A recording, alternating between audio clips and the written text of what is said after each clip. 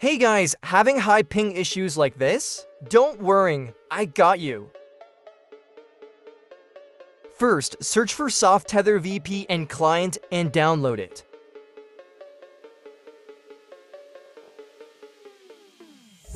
Next, install the app and just follow what I do.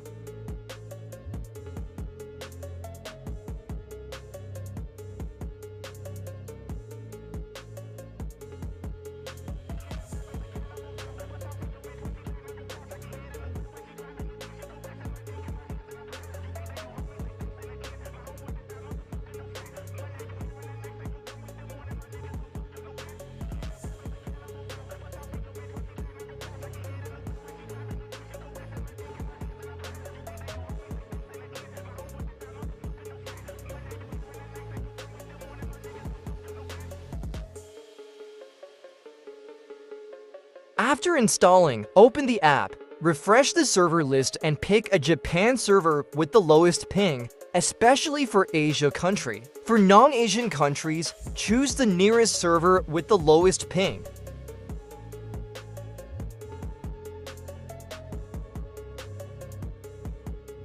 Open Roblox and enjoy a stable and lowest ping.